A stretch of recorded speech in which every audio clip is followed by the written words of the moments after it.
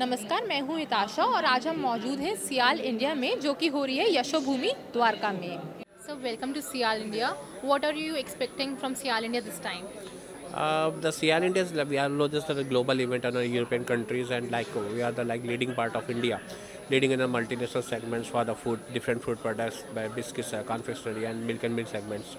So uh, it's an, uh, like expecting a major footprints on a part of India for terms of its importing exporting business.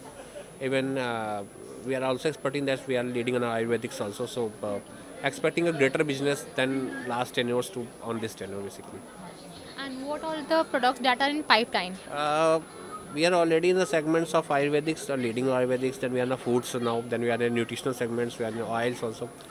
Uh, we are just working on the segments which could be uh, work additional to people for the additional nutrition basically like uh, nutritional bars are there, some um, ready-to-eat supplements, or some supplements which are just uh, pure natural sources but could help people out to get on the rid on like anxiety, stress, and uh, like tiredness of the things. So we are working just on that products.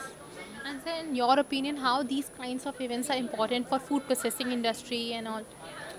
Uh, look, uh, communication is a thing only in the world which can make the help of these of the things.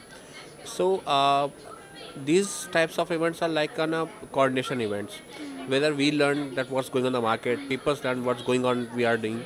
Sometimes it happens that the product is launched, people are not aware. Sometimes, or sometimes the people are aware, but they don't know how to use it basically. So it's kind of like accordingly joint collaboration for the customer, consumers, or as well as the marketers, developers, or the exporting countries also that how they are doing that. So it's really uh, rigorously I will comment on that. It's important, and the friction of such events should be increased uh, on a time basis.